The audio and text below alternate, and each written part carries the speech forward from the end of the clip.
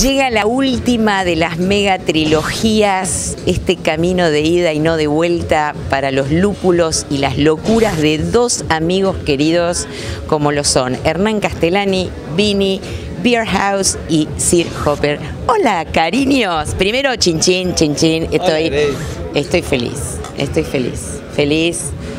Hola Grace, ¿cómo estás? Feliz, estas cosas me ponen bien. Hola chiquitito, Hola, bienvenido Grace. a la Argentina. Tanto tiempo, gracias. Ah, juju.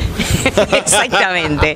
Bueno, yo no esperaba menos de vos de aterrizar y decir, Hernán, larguemos de nuevo esta conjunción que para mí, como lo dijimos en las otras dos, complementa lo más importante de las locuras de ustedes. Uno, buscando lo mejor de la gente para la tomabilidad y el otro con la locura, pero ya no sé ni cómo caratularla, de qué lúpulo encuentro y a dónde voy con estos aromas.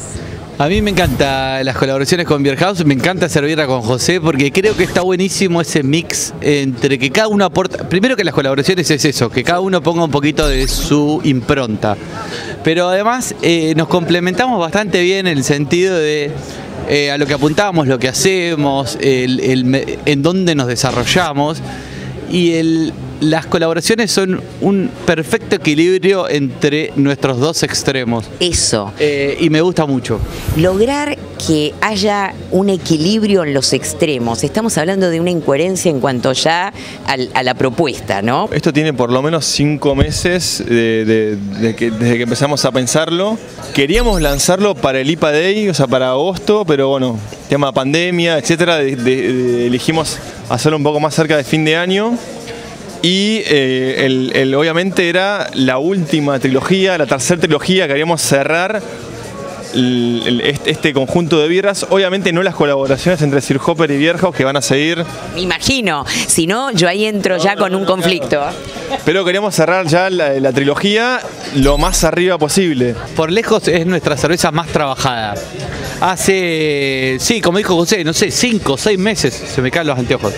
Eh, cinco o seis meses que arrancamos con este delirio, lo íbamos a hacer para junio, ju- eh, julio, agosto, pasaron cosas y empezamos a darle cada vez más rosca. Bueno, la idea, tipo Matrix, Reloaded, la última, eh, con una estética, todo negro con, con brillantes Me encanta tornasolados. A mí se me ocurrió el hecho de hacer todo neipas, porque hay un auge, porque las neipas están de moda y porque las trilogías anteriores había muy poca birra hazy. Entonces, bueno, ahora hagamos session neipa, neipa, doble neipas. Tenemos todo a la parrilla. Super juicy, super hazy, super un frutijugo de lúpulo, pesado, dulce. Esta pero lo cumple todo, esta es la tres, Bueno, es la idea, la idea es eso. Ahí nos pusimos a discutir, eh, las tres tienen diferentes blend de lúpulos, no repetimos, creo que hay un lúpulo que se repite en dos, pero tienen cuatro o cinco lúpulos distintos cada una, que tienen 4, 6 y 8% de alcohol, una leva líquida bastante potente, súper esterosa y mucho amor.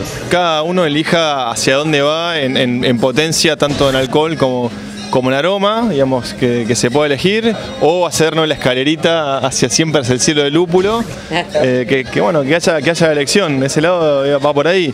Y, y creo que también lo, lo- lo lindo para mí también de, de colaborar con Hernán es eh, somos los dos muy flexibles a la hora de recetas, eh, impronta, como que nadie quiere avasallar al otro y ahí es, ahí es jugoso donde aprendemos y no como, che, me parece que hay que hacer esto porque tal cosa, uh, dale, y como es muy, es muy de vuelta y no es, che, es esto porque quiero.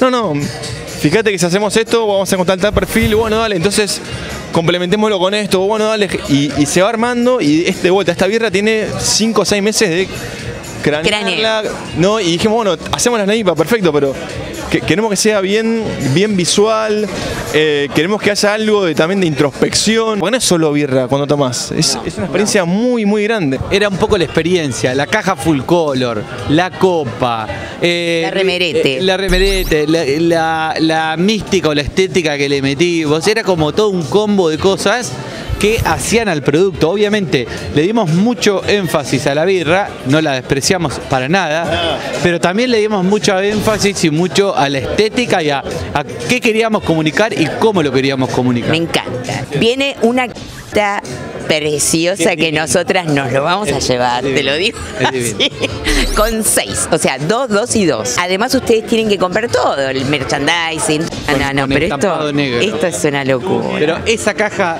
Six Pack Full Color es, es espectacular. Ah, tremenda, tremenda. Bueno, chicos, yo estoy. Yo estoy feliz. Hay muchas cosas que comunicar para que cada uno los vaya masticando solo, tranquilo, que, que lo vea. Voy a tirar una bombita sobre el final. Bueno, Pero bombucha. justo acaba de salir de las trilogías, la última de las trilogías, también con toda una temática que se relacionaba con Matrix. Y oh, después de mucho tiempo apareció la cuarta de Matrix. Es verdad. Entonces. Ustedes habrán sido como los, los, los Nos deja la- visionarios. nos deja la puerta abierta el año que viene, vamos a ver ah, qué ah, bueno, ah, bueno. A ver qué hacemos. Guarda con estos dos locos Por lindos. ahí The Last no están The Last. Eh, Viste que ahora, ahora está de moda cerrar la, la última película, con, la cortan en dos. Entonces por ahí tiki tiki, entonces es parte pu- uno. 3.1, claro. La- ¿entendés? Si nos vamos antes, podemos hacer la trilogía menos Back, back to the trilogía. Back to the trilogía. ¿no? Entonces, Gracias, Meneo. no, gracias a vos, trofeo. Hopper House, el sabor de la nevipa.